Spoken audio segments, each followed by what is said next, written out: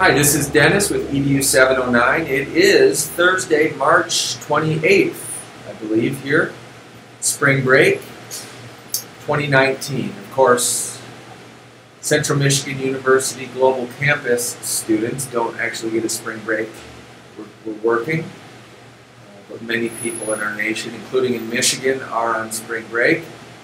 And I'm excited about Module 4 as it relates to Module 5. So we are researching an innovative use of technology and then we are going to create an innovative use of technology. And so let me be very concise and say that LMS stands for Learning Management System or Systems, singular or plural, but LMS, it's a software, it's a technology, it's a digital tool, it's an educational tool that allows us to create resources.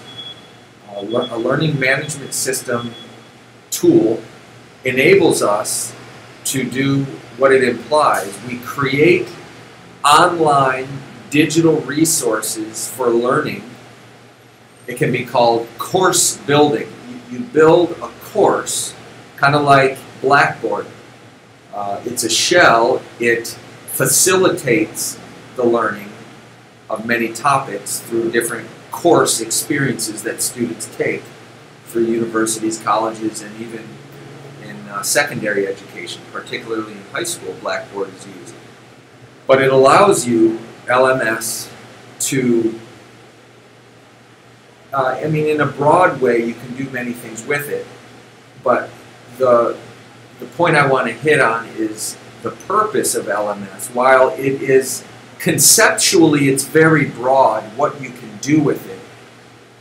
The purpose of harnessing LMS is actually very narrow. You want, whether you're in educational environments in terms of K-12, K-16, and beyond in graduate and doctoral work, uh, with students and learners and so on, wherever you are in that realm of education with core academic subjects such as language arts and mathematics and social studies, very, very many other subjects. I don't know if that's good grammar, very, very many other, but you get my point. There are so many topics that we use in education. But that's not the only realm where we use LMS. You see, the corporate world uses LMS because they have to train their employees. They have to essentially educate their clients and so on. And then you think of other unique industries or career fields, technical fields, uh, specifically the medical health profession field. Um, there's so much training that has to occur on many levels. And I think that's what I mean by broad. LMS can be used in a broad way as far as what it can communicate. Uh, but yes, there, and even in government, you know, nonprofit, government, etc. These areas of life. So there's many sectors, if you will, many areas in society where we have to communicate information, and K-12 education is, is one small part of that. Now, I'm saying this to say that the narrow purpose of using LMS in any of these contexts, in any of these areas that I've just mentioned, it's a narrow purpose in that you want to create a very helpful, user-friendly experience that is unique to each user, to each student. Meaning they can log in with their own ID. That's the first thing. And of course, that doesn't set necessarily set apart LMS uh, from other experiences on the internet because there are many websites you could go to, like when you pay your electric bill.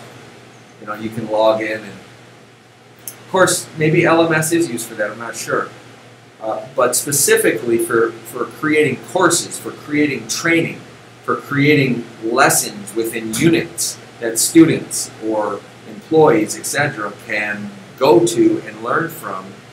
Uh, you want that user-friendly experience.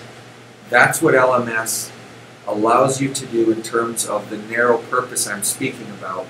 They log in, It guides them through what they need to be doing in terms of it keeps track of their progress 0%, 80%, 90%, 100%. You know, how far along are they in what they're supposed to be supposed to be learning in terms of whatever whatever content is within the course or within the unit. You know, what lessons are in that course that you've created with LMS uh, in terms of the multimedia, whatever the students, the user is supposed to be viewing and participating and engaging in and with, the LMS software allows you to put that all together in one place and it keeps track of the students, of the user's progress as they navigate through and engage with the content that I'm speaking about here. And so this is awesome uh, because when they're completed with a course, for example, it will tell them they're 100% completed and then ideally they can print out a certificate showing they completed whatever it was you wanted them to complete. So this is what I'm excited about for Module 4 and Module 5, learning about LMS. There's a company specifically I'm going to be using, and I still have to confirm with Dr. Ming, uh, because I know for Module 4 we need two uh, cases, as well as two lessons for Module 5. Um, but I know Lifter LMS is the one company I am researching, and I've already had an online meeting uh, a one-to-one personal, um, basically a web conference with the co-founder of the company. Uh, I believe they're based out of California. His name's Chris Badgett.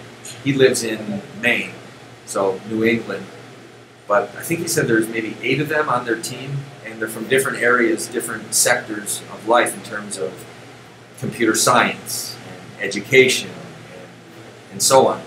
Uh, and so they have this really nice company, this product called Lifter LMS. And that's what I'll be, at least in the one case, I'll be researching. Uh, but the ultimate purpose of my research for Module 4 and then creating a resource that is you that it, that uses LMS is is what I'm striving to do is to in fact learn about learning management systems. So I hope that makes sense. Um, I'm just brainstorming, thinking uh, in this video right now, but I know I have a lot to learn and I know that it can be used. This knowledge can be used for many, many things in terms of creating resources to help people to learn uh, for profit as well as not for profit in, in business, ministry, so many things.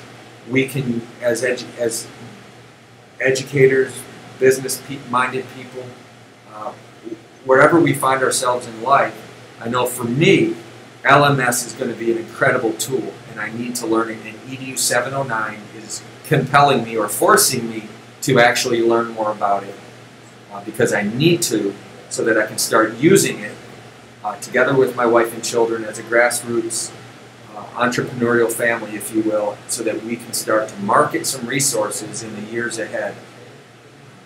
And to do it with passion and with joy. That's what it's all about, living with a purpose. And so I'm very thankful and I look forward to learning more from my classmates and Dr. Ming as we uh, work through. Now we're about almost halfway through this course, and I look forward to what's going to occur here for all of us. Many blessings.